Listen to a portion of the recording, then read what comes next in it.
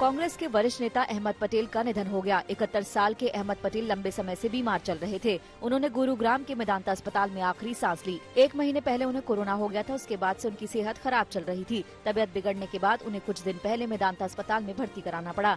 लेकिन multi organ failure की वजह से उनकी हालत में सुधार नहीं आया। आज सुबह तीन बजकर तीस मिनट पर उन्होंने अंतिम सांस ली। अहमद पटेल के बेटे फैसल पटेल ने ट्वीट करके अपने पिता के निधन की जानकारी दी। साथ ही अपील की कि लोग कोरोना प्रोटोकॉल का पालन करें, सोशल डिस्टेंसिंग बनाए रखें और भीड़ जमा न करें।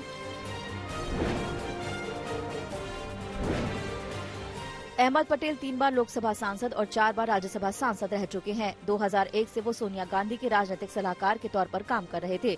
अगस्त 2018 से वो कांग्रेस के कोषाध्यक्ष भी थे। आखिरी बार वो 2017 में गुजरात से राज्यसभा के लिए चुने गए थे। पहली बार 1977 में वो लोकसभा पहुँचे थे।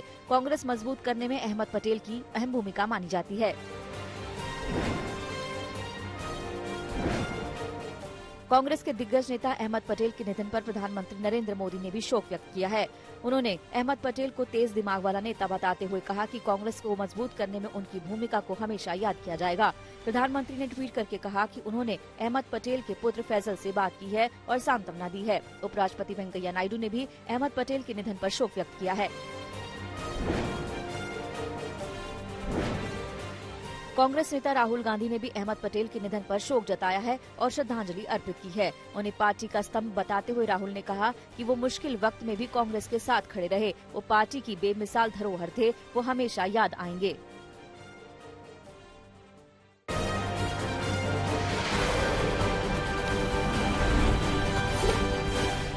प्रधानमंत्री नरेंद्र मोदी ने देश के सभी मुख्यमंत्रियों के साथ अहम बैठक में कोरोना वैक्सीनेशन का पूरा प्लान बनाया है। वैक्सीन के अप्रूवल होते ही देश में कोरोना वैक्सीन की डोज का पहला फ़ेज़ शुरू हो जाएगा।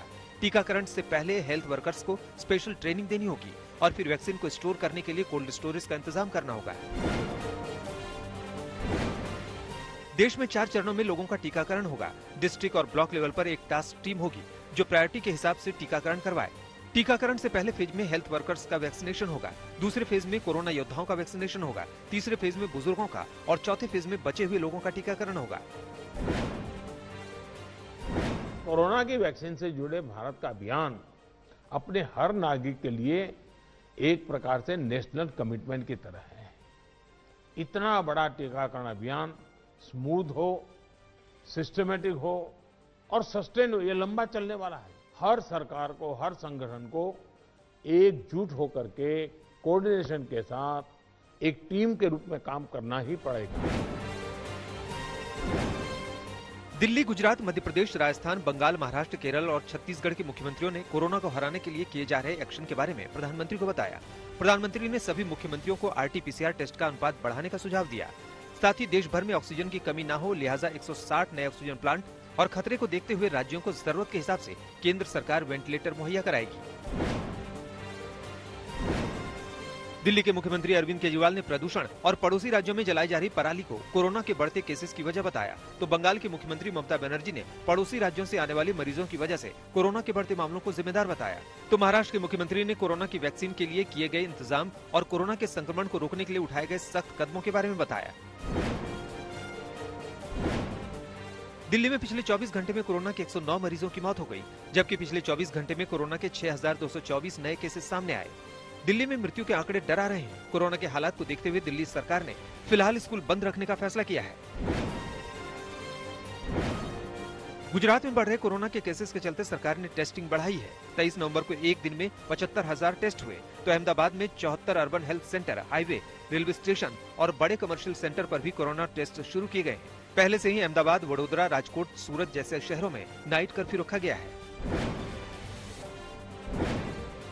राजस्थान में एक दिन में कोरोना के पॉजिटिव मरीजों के मामले में रिकॉर्ड उछाल आया है।